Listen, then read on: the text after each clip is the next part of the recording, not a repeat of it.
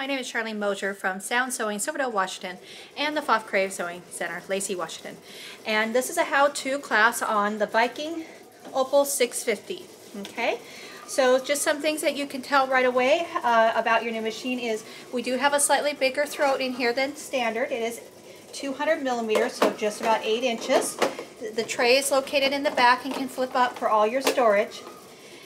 And then you have this wonderful beautiful panel here. What we're going to do today is we're going to show you how to thread it from scratch, wind a bobbin, install it, and how to use all your keys and your functions over here. If you want to how to use your feet that come standard with your machine, we are making a separate video just for the standard feet that come with the sewing machines so that for those that want to just go work on the feet, you can do that. So let's get started. All right, so now we're over with what came with your machine. So just want to apologize. We are filming this in our store and we do have a lot of background noise going on. So uh, we did run a test and uh, the test ran good on the, the uh, verbal and hearing of this, so hopefully it's coming through okay for you.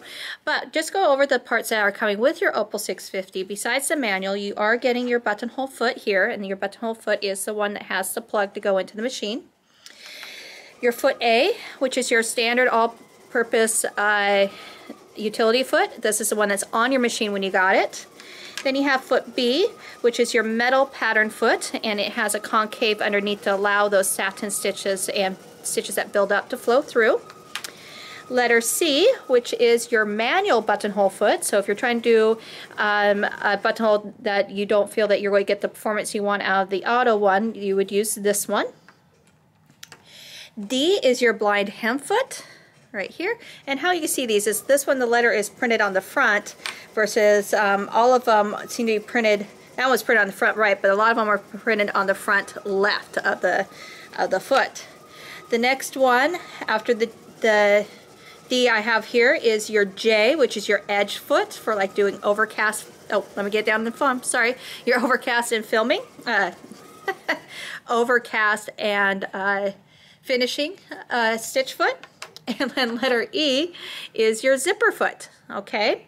Also you got with it is, it looks like these little strips of uh, plastic and they have paper one side for sticky, stick them. This is called a glide sole. And so this actually comes apart and becomes two pieces. And anytime you are sewing on foam, vinyl, plastic, or leather, or any kind of material that can actually stick to your plate or your foot, what you would do is, like on my utility foot, if I wanted to, I could take this and peel off those and stick them right on here so that this becomes a glide foot, that it will not allow those fabrics that can stick to actually stick to my foot and plate and allow them to go through. If it doesn't, if you're still having trouble with leather, vinyls, and plastic and foam, they do also have a full glide foot that you could get or even a roller foot. I also got with it one or two uh, foams um, I noticed the book did say two, but for some reason we only have one with our floor model, so things walk away sometimes.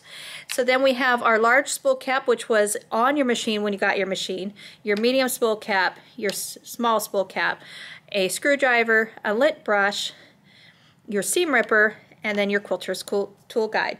So um, you, along with that, you would also have received a uh, for those who have a touchscreen in the Opal series, you would have got a stylus. The 650 does not come with a stylus, and you would have got what's called a multi-purpose tool, which is gray to allow you to help you insert your needles.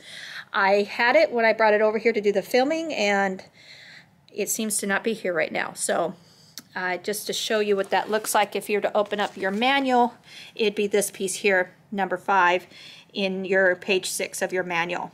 Okay, and it is called your multi-purpose tool for um, oh, that's why I did. It, it only comes with a 690Q. Now, if I read the book, that's why I don't have it with a 650. So that is, we do carry that. That is a great tool to have to have you insert your needles with when you sew. All right, we're going to go over to the machine and learn to thread it up, wind a bobbin and install it, and start playing with it. All right, now here we are back at the top of the machine. We are going to show you how to wind a bobbin. So what we're going to do is, the first thing we're going to do is on this spool pin, which can sit up or be down, you do want it down for sewing, but while you're threading it, feel free to put it up, and we're going to put the large spool cap on the back. And then we're going to put a felt next. And these always do need to stay on there. These are always going to give the spool stabilization. So then what we're going to do is we're going to put on the spool directly on the machine And then we are going to, um, let me just check something just really, really quick. We actually want the thread to come off the spool, I think from the top. Okay, so that, yeah, we want the spool coming from the top. And then we are, so the thread. Then we're going to put the medium small cap, uh, the next cap on. We want the cap that's going to be, the first cap that's going to be able to fit around this, bigger than the spool here. We don't want a real large one if we can help it because we want to be able to keep it as close to the size of the spool as we can. To thread for a bobbin, we are then going to take our thread and there's this metal piece here I'm going to put directly in there. Okay, so let me see if I can zoom in so you can see that a bit better. Okay, so we take my thread and we come under here and bring it directly down. And then this piece here, I'm going to then just pop into there and make sure it snaps all the way in. So I've snapped in here. The next thing we are going to do is we are going to put our thread into that hook there.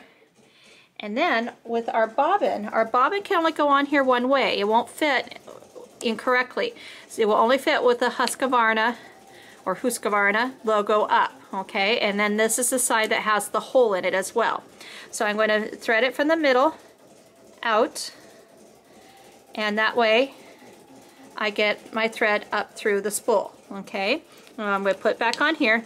Make sure to put back in its guide if it's come out because you do not want this thread touching any of the shell. You want being in its little holders so it doesn't cut the shell. I'm going to pop this over to the right and then I'm going to use my foot control to start winding and don't let go of your thread. So I'm going to hold on to the thread and I'm going to step on my foot control. Once this goes up and down a few times, I'm going to stop and cut my thread flush to my bobbin and then go ahead and fill. Sometimes I will find that it will like to fill one side of my bobbin favorable over another. Sometimes, if that happens, just, just adjust it. A lot of times it has to do with your spool caps that you choose on your your uh, spool itself. That will help decide that. So as you start to fill, it will start to hesitate and then that's when you're going to, like I know mine doesn't want to, there we go, that it will start to hesitate and that's when you notice it's getting full. Okay, so now I'm going to stop and we push my spool, my bobbin to the right and we pull it off and then right here, this guy here is actually a thread cutter. Okay, so now we're going to learn how to thread the machine. So let's come back over here. The thread is still on coming off from the top and I'm going to go directly in here again but now I'm going to go directly into here. I'm skipping this. So I went up into here and I'm going to come around the back you'll see there's a metal flange here. It does not matter what side of the flange you sew on, is uh, thread on, as long as you put straight in the flange. And I'm going to come around around the nose down here and back up. And then I do have a take-up lever right here. Okay, let's see if I can get you guys to see that a little bit better. Okay, Oop, that's my hand. Okay, we do have a take-up lever right here. So I do have to go from right to left around it and pull it forward. If you can't get, if it's not there, you don't see it like that, to make it come up, you gotta turn your hand wheel to get it to come up, okay? Now, we are going to come straight down and we're going to get ready to use the needle threader. So let's get set up for that. Okay, so now I'm more zoomed into the bottom of the machine. So here's my thread and I do have over here on the right hand side above my needle bar, let me take down my needle bar a little bit. So right here is my needle bar. There is a hook right here. I am going to go into that hook, okay? Now we bring this back up. Okay. Now I'm going to put down my pressure foot, which is back here, my lifter, and this needle threader comes down, and as you pull it down, you'll feel it wants to twist. You do want to let it twist, so it'll come down and twist forward, and you're going to go under the bracket to the left, and into the slot on the right. You'll see there is a slot over here. When I go to pull this away, I let go of that tail and it'll make a loop for me to grab. Okay, let's try showing that one more time. Okay, let's see if I can even get a little bit better for you guys. It's hard because it doesn't like to focus too far in. Okay, So I'm going to come directly down and twist it in. So it's it see how it pivots in? I am going to go, and your needle has to be in the highest position, by the way. If it's not lining up, make sure your needle's in the highest position. I'm going to go into this hook over here, and then there is a kind of like a bracket I go into over here between the two metal parts on the right.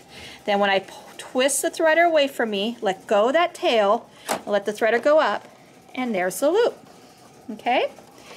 Now to thread the bobbin. Let's get where we can see for the bobbin. So, all right, so this is about as close as I can get. To thread the bobbin, what we're going to do is I'm going to raise my pressure foot back up just to get it up and get my top thread just under into the back.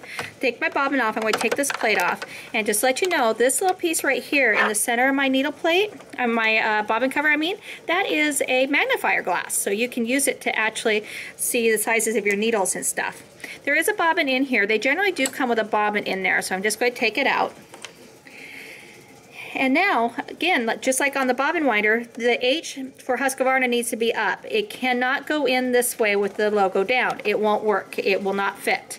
If you're using a pre-wound bobbin, you most certainly can, made by pre-wound bobbin companies. It needs to be the L class size. Okay, but definitely don't use the ones with the cardboard though. They just don't perform as well in these drop-ins as the plastic glide ones do. But I like the ones that came with the machine because you can't install them wrong. And they, the thread always goes over the top to the left to pull counterclockwise. I'm going to drop my bobbin in. Now you can't just drop it in and go because you do have to put it into its tension down here. Just like when you have an older style machine and you hold the bobbin case to put the bobbin in, then install the bobbin case. This piece that you dropped it into on this one is the bobbin case. So you do have to thread it in there. There is a little opening over here that this thread is going to go into. I know it's hard to see. Going to go into there and you pull it around until you hear that click, okay? Then I'm going to push it up and over and then I'm going to put the bottom cover back on, slide it up, and there's a little blade here so when I pull this thread, it cuts, okay? Now we're going to get set up and we will start to learn how to operate the machine. Right, I'm a little ways away from the machine a little bit just so you can kind of see some, oh, that was me, sorry. So you can just see some things on the machine and then I will zoom in and so we can see better things. Right here, a lot of people mistaken what this knob is for. This one over here on the far left of your Opal 650 is not the tension assembly. This is the amount of pressure that your pressure foot will have by weight. So right now it's on five, or at least it should be when you got out of the box. And you'll see there's a little line by it, which indicates that that is the, the standard setting. And when you look, raise and lower your pressure foot, you can feel how much pressure or weight is on that pressure foot lifter. By increasing this number, by changing this number, increasing it, you are making that pressure foot lifter tighter, and you could feel it if you try. And basically, you're putting more pressure or more poundage of your foot on your fabric. If we go the other direction to like the one, you'll feel it's a lot loosey-goosey, very, very loose, very low poundage. So you are lessening the poundage on it. And then five is the standard. This is so you can do a wide range of fabrics and change the pressure accordingly for those fabrics. And if you use the exclusive fabric advisor by Viking, it will help you determine where you should start and put that pressure. So we will show you that in a bit. The next one here is this knob. And this one also is set at 5 and has a dark setting around it that is because this is your tension assembly, okay? So this is uh, letting you know that tension is good anywhere in that area there. Sometimes I find anywhere between four and six, and this is pretty close to four and six in that range. And um, that the machine really likes its tensions. But sometimes you could be throwing it a really wacky thread or very, very thin uh, thread or something and you need to change that tension. So that's where you'll do it. And again, using the fabric advisor, if you're doing uh, particular fabrics, will help you determine whether you need to change that into what. And of course, you always want to try it on a sample first of a scrap of what you're actually sewing on to make sure you like what you're seeing. Down here on the very bottom left, right here, let me get this to work. Right here, this is your feed dog drop. So if I push it over to the right, my feed dogs have gone down. So that would be for like free motion quilting, darning, or embroidery. When I want it up, I pull this lever to the left, but you notice they did not come up. You have to take a stitch. So I'm going to take a stitch with my machine. It's a mechanical movement. So by taking that stitch, by turning my hand wheel always towards me, that feed dog, those feed dogs will just mechanically pop right back up again as this lever's to the left. Okay? Now let's get to know the front panel here. So let me get us zoomed into that. This front panel here is your, I call your interactive sewing panel. So basically what this means is while you're doing certain functions, you might want to select some of these options up here. One of which is a start stop key. This one actually can run the machine without the foot control. So just like on your DVD player or you know your iPod, I always get iPad, iPod confused, iPod, you have where you can start and stop playing music or, or watching a movie. So that's what this is, same thing. But I do recommend using it also with your speed control. So this actually can change the speed of your machine. When you first turn it on and you use the start stop key, it only knows one uh, level speed and that's full steam ahead because it's going to go wherever the speed is connect uh, registered to for that stitch. So for instance, the fastest sewing stitch on any given sewing machine is the straight stitch. So when you first turn it on, that's what it defaults to. And if I use the start stop key and I'm not ready, it's just going to take off. So I can press my minus here and slow down my machine and then use this and feel a lot more comfortable. And we'll go over that when we start getting to the screen here. The next one, a lot of people get confused because there is a start stop and then there's a stop key.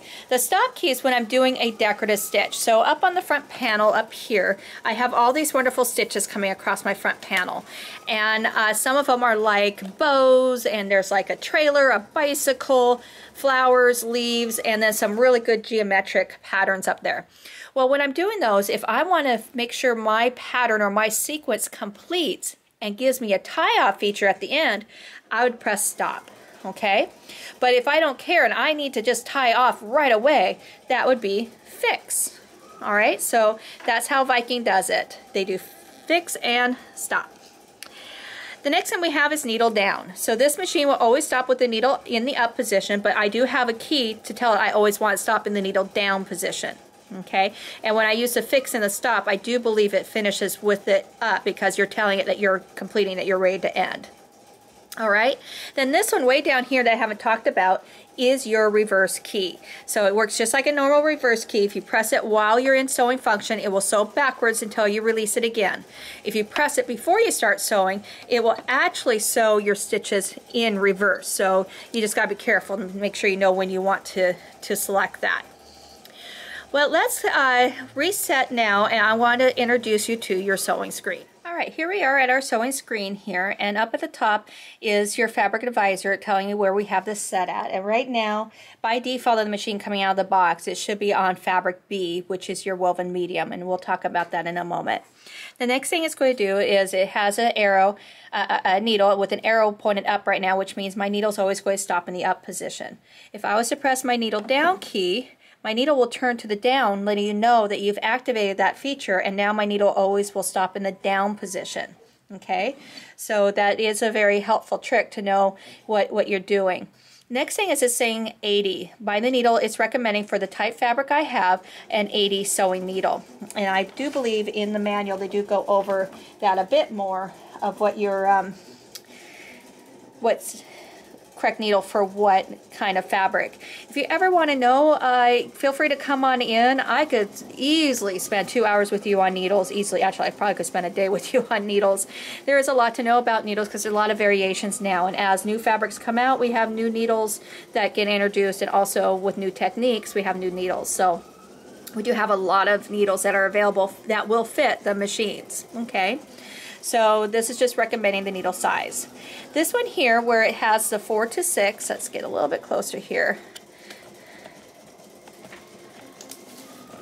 Where it says 4 to 6 and it kind of looks like a rope or um, a twisted piece of candy, is that is recommending where your tension should be at, anywhere between 4 and 6. So the machine usually likes to be right at 5.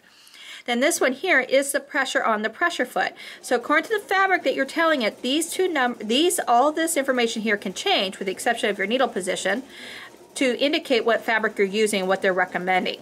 Okay, and that's why the fabric advisor is so nice is you don't have to remember, it's going to tell you.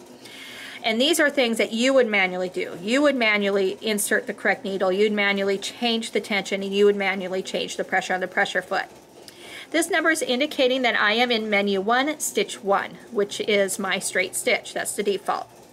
And with that, I am using foot A and show me a picture of the stitch.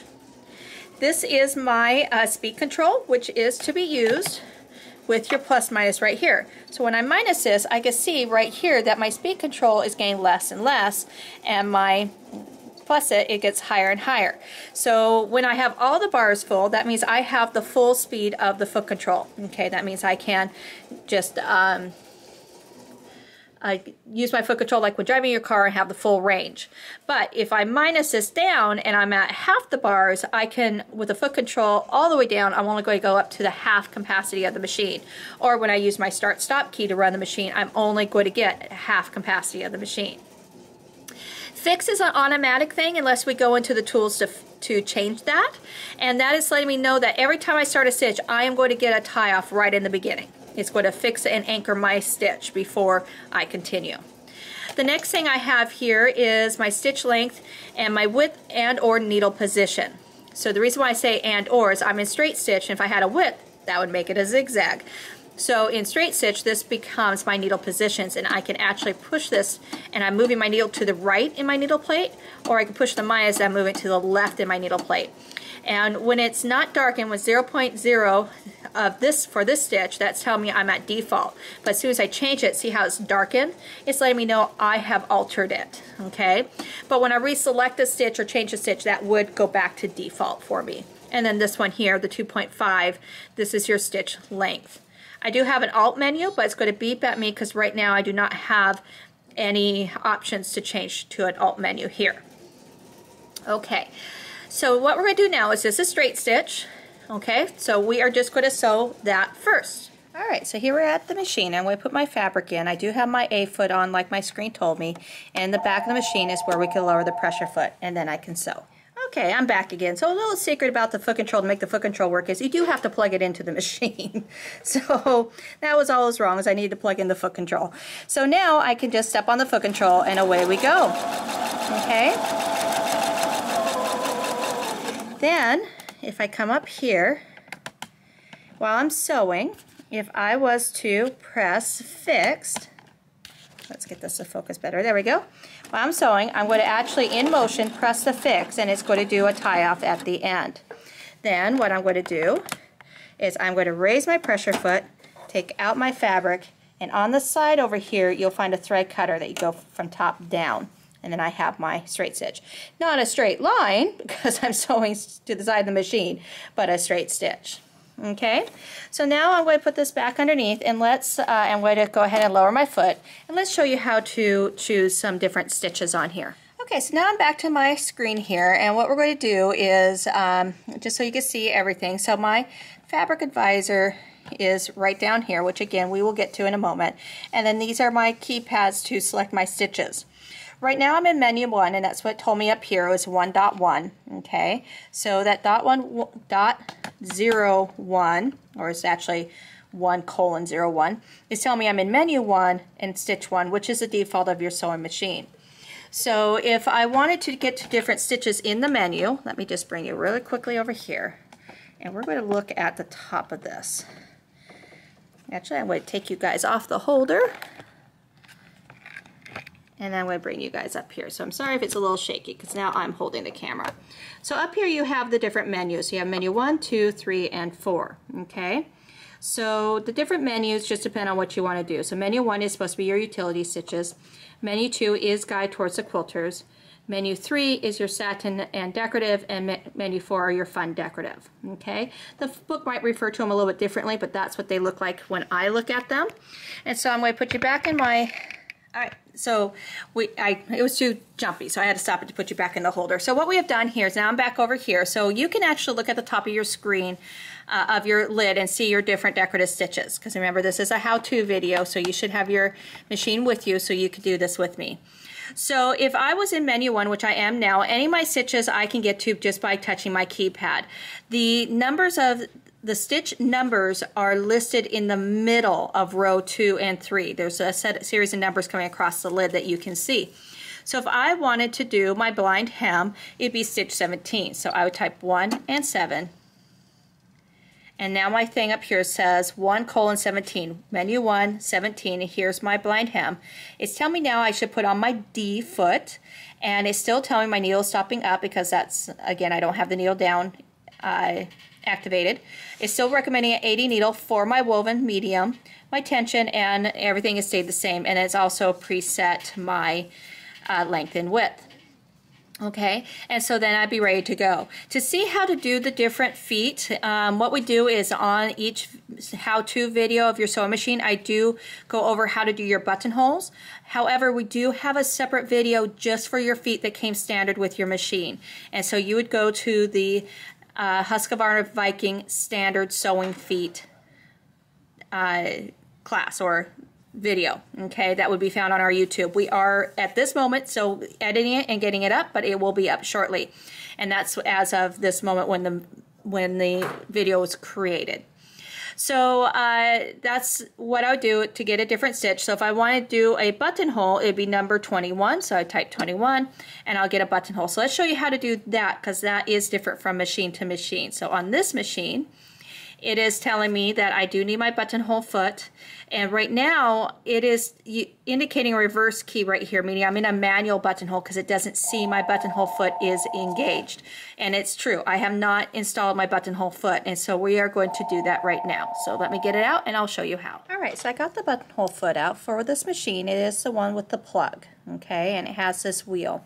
So when you get ready to do the buttonhole, what you got to do is you got to turn the wheel so that the crown or the white part's in the center of that line the best you can. Okay, so it knows the starting point of your buttonhole. The next thing we do is I'm going to raise my pressure foot and I'm going to take um, out my fabric to, and remove my foot. So if I pull my foot towards me, I can pull that out and I would put this new foot, this the bar of the buttonhole foot in front of the ankle, and then I'm just going to come in. You kind of kind of push it up a little bit to get it on there, and push it back. Okay. And then I have right back here. You're going to feel it. You're going to you have uh, sure where am I? okay. I'm going to feel it. It's right here. There's like a square, and there's a plug or a hole in there. And that's where this goes. So it's behind your light fixture about I'd say probably about a only three quarters of an inch back, and that's where this plugs in. Now I'll show you how you know you were successful. All right, so now I'm back at my screen, and how you know you are successful when plugging in your buttonhole foot is your screen will change here. Now I'm going to unplug my buttonhole foot to show you what I mean. So now my buttonhole foot's unplugged, and if it's not plugged in all the way, you will have this reverse key here symbol, which means you will do your your uh, buttonhole manual. If I have it plugged in in the right spot all the way up, I actually get this button symbol here. Okay, so that is uh, what we want to achieve. The next thing we are going to do is it is giving us a picture right here of a button and it wants to know how long do I need to make my buttonhole to fit my button. So what happens is a lot of times when you buy uh, um, da, da, da. When you buy buttons from the the store, it come on a package and they will say the size of them in millimeters. Well, that's the size of the actual button itself. You still need to make the buttonhole about two to three millimeters bigger. I always start two millimeters larger than what the package says and then try it out with the button loosely to see if it fits. And if it's a real thick buttonhole button, you normally would have to make the buttonhole three millimeters bigger. Okay, so if my package says 16, like it says here, I am going to up it, um, okay, wait a minute, wait, wait, wait. Right up here, sorry, your top arrow right here will change this setting. So I'm going to change it to 18, okay? So the up and arrow here on the very top will control the length of this buttonhole. And I'm not quite sure what we're picking, oh, we're not picking up something on screen, sorry.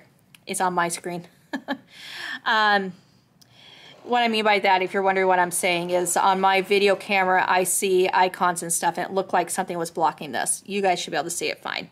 The next thing is, this is the width of the buttonhole itself, from outside to outside, the full width of the buttonhole. I generally do not change that unless I'm doing teeny, teeny, tiny buttonholes for like doll clothes. Usually I just leave it where I want. This one has to do with the density of your um, of your buttonhole. So how satiny your stitch is, that makes the buttonhole. So if you're doing something that is a stretch stitch, stretch buttonhole, you would not want to make that very satiny because you'd want to have some giveness. So how to change these if you do choose to change them is the plus and minus right below them, okay? So I have changed this to 18 for a 16 millimeter buttonhole. I'm leaving the default at 5 millimeters in width and the default at, right now, for the density at 0.4.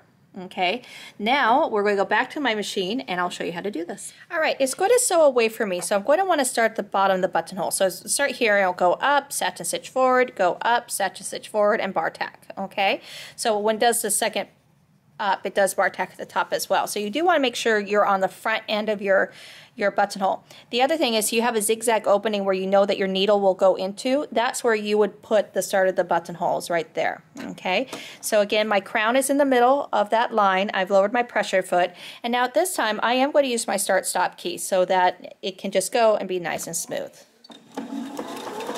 So we'll do a straight stitch backwards, satin stitch forward, straight stitch backwards, bar tack, satin stitch forward, bar tack, and then we'll tie. And then I raise my pressure foot. Now I didn't watch where my tails were going, so they kind of went everywhere but that's okay. There is my perfect buttonhole. So if I don't want this satiny, I would increase my density, which is at 0.4, and make it like a 0.5 or 0.6, which would make this less dense.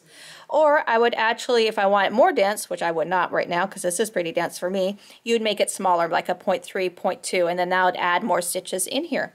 So to open this is actually pretty easy. You would need your seam ripper to open up this buttonhole.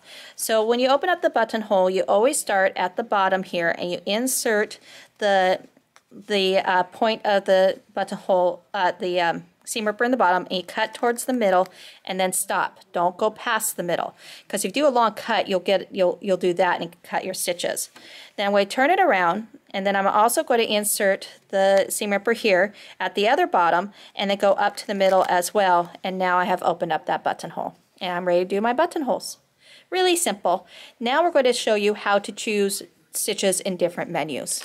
All right, so here we are back at the machine. Now I have unplugged my foot control, my foot control, I'm sorry. I have unplugged my buttonhole foot and removed it from the machine and put it away. So now it's gone back to the default of the manual. I actually don't do manual ones because I find this one does the auto ones so well. Because the manual ones, you have to kind of indicate all the aspect of the buttonhole. And today our auto buttonholes are so great. We really don't have to do the manuals. If you find that you do need to know how to do a manual, come on into the store or give us a call and we'll be happy to help you with that. But now what we're going to do is we've been only working in menu 1. And so again, right now this buttonhole is menu 1 stitch 21. So I would like to show you how to get to the different stitches. So you do have some keys right here. So right here you have one that's a straight stitch zigzag. And so if I press that, it will come up with my different menus. On your front lid, you'll find that you have four menus, but here when I ask for the, the stitch menu menu, I actually have five. And the fifth one is your personal menu. Anything you have saved and put in a memory will go there. So to get to the different menus here, I would actually use my side keys over here to scroll scroll through or I could use up and down, okay, but the up and down will only go up and down, but I could scroll through just by doing left and right. So if I want to do my quilting menu, which is menu 2, I would actually highlight it here, and then I'd press OK. Now what will happen is now I'm in 2 colon 0, 1, so I'm in the uh, menu 2, stitch 1. And again, it looks like straight stitch, which it is, and with my A foot. What it has done is with my A foot for stitch 1 in your quilting menu, it has turned this into a quarter inch foot. It has moved the position of the stitch inside your A foot that when I use the edge of this foot, it is a quarter inch setting automatically. We still do recommend purchasing the quarter inch foot if you don't have one already because a quarter inch foot also has one eighth inch to quarter inch markings on it on both sides, left and right, for you to have those markings to help you do inset points and binding and all those really uh, intermediate advanced techniques of quilting, which the A foot does not have. But if you need to do a real quick quarter inch seam and you don't want to go dig out your quarter inch foot, Hey, there you go. You go into the quilting menu, stitch one, with your A foot on, you have your quarter inch. So then I could go in and get my different stitches. So uh, there's a lot of beautiful stitches in here. We have a serpentine stitch, which is number three. So if I just touch three, there it is, serpentine stitch. I can make it longer, I can make it narrower, I can do anything I want with it and sew it out. Now I do want to notice that once I have done that, the foot has changed, however. Now it wants the B foot. So if you haven't watched that video yet about the different feet, the B foot is your pattern foot. So it has a concaving underneath to allow your stitches to flow through that your A foot does not have. Your A foot is flat underneath to allow you to do more utility work like uh, sewing on a jean seam and uh, just your utility work, your, your everyday sewing work. But when you start to play with your decorative stitches, you do need to start paying attention to the foot that it recommends. So the other stitches that I have on here is there is a blanket stitch in here, which is number nine for doing your appliques. So your applique here, um, oh, I don't have my model with me. Let me be right back. All right, so this is what I was talking about. Now this is a decorative blanket stitch, however, done by another machine, but it's same idea, where you ride the straight stitch edge on in between the the raw edge of your applique and your your fabric that your base your applique to and it does these beautiful stitches off of it. Now this particular one is doing three up three down three up three down. Um, there's a lot of different applique uh, blanket stitches out there. This one does have a couple different styles. Um, but again this one was done on another machine but it's the first sample I could find that could show you what I was talking about. All right so that is how you get to like menu two. So again, if you want to go to menu three and do the little bicycle, we would actually, actually menu four and do the bicycle. I would go back into my stitch menu here. I would arrow until I got to menu four and I'd press OK. And then looking at my top up there, the bicycle's number 30. And remember, the numbers are in between rows two and three. Okay, so the numbers are actually, that's the bicycle, it's so cute. So let me just take you off my stand here so we can bring you up so you can see this better. So here are your, your different menus and it is listed here, one through four. And then the numbers are in here on this gray part, on this gray bar, okay? So pretty simple to get to your own different ones. And now let's go talk about the Fabric Advisor. Okay, you're a Fabric Advisor. This is exclusive to the Husqvarna Viking company.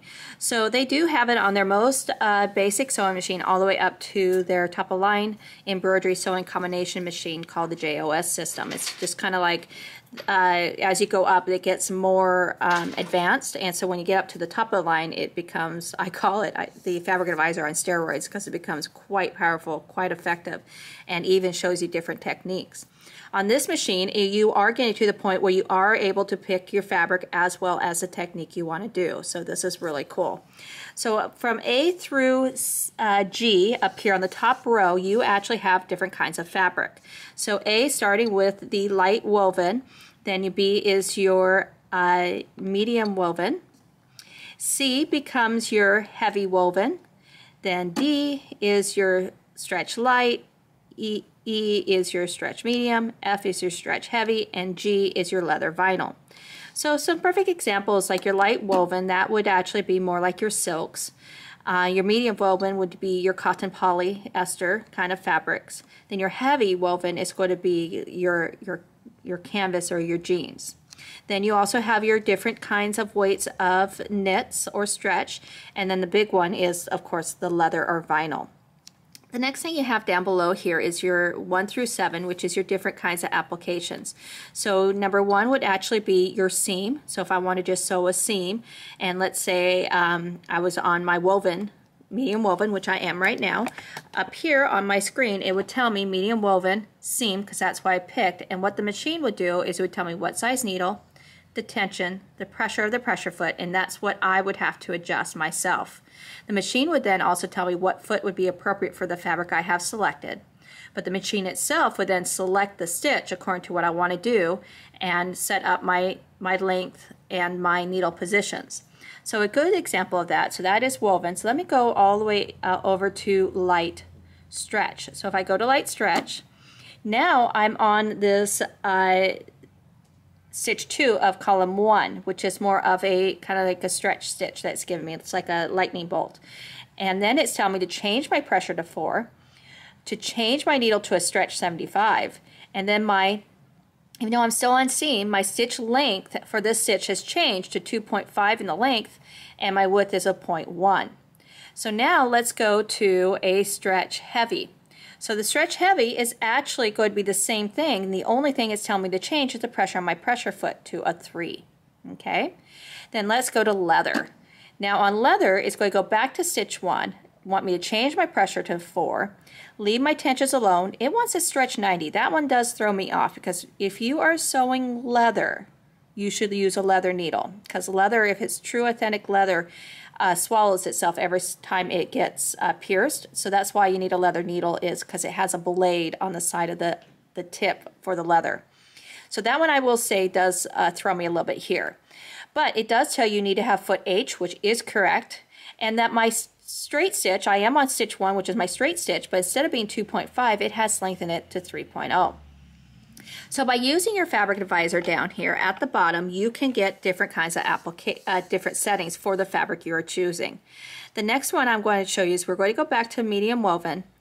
And what we're going to do now is we're going to go to buttonhole. So I'm going to just select buttonhole. And now we're going to come up here and look. So you do have quite a bit of buttonholes on here. You have one, two, three, four, five, six, seven, eight different buttonholes. Nine if you want to count the eyelet. So it's hard to know what buttonhole to use for what, and that's where the fabric advisor comes in. So I picked fabric B, which is the woven fabric. That's what we did earlier, and this is exactly the setting we had earlier, except for I had the buttonhole foot plugged in. Okay, so now if I went to light woven, it would give me the same settings, but now they're telling me they do recommend having an interface put in, and my width has changed and my density has changed. So Oh, also my tensions change a little bit. So it does change everything there. Um, and my buttonhole style has changed. Let's go to heavy woven. Heavy woven, we have changed again. Now we're on number 23, which is the crisscross or the cross stitch buttonhole. And everything's changed on there. Light uh, stretch has taken me back to the same one that the light woven has given me with a little different setting. Medium woven, has gone back and is actually recommending, this is a new symbol, is recommending a GIMP. That is meaning you actually insert a thread into your uh, buttonhole. Okay, so that is a little bit more advanced. That will come at a later date. Uh, so that is the stretch medium, stretch heavy, same thing. Everything is pretty close to the same. Actually, that was me. I'm sorry. Heavy. Let me pick the right one. Heavy. There we go. Everything's pretty close to the same, but now my width has changed a little bit. And then the one that changes a lot is leather or vinyl. And now you're onto what's called the welt buttonhole. Okay, so that's where the fabric advisors will help you is if you're not sure what to do or what to set up, you are going to want to use your fabric advisor down here. But beware, and the reason why I'm saying is beware is as your fabric advisor is on, you do, it's on all the time. You do need to make sure that if you're just doing everyday sewing, put it back to letter B for woven medium so that you get all the settings correct for what you want to work on. Okay? So that is just the beginner of this machine. And again, look for that uh, Husqvarna Viking standard sewing feet class that we are going to put out. And uh, if you have any questions, feel free to call or come on in and we will answer them. Have fun with your new machine.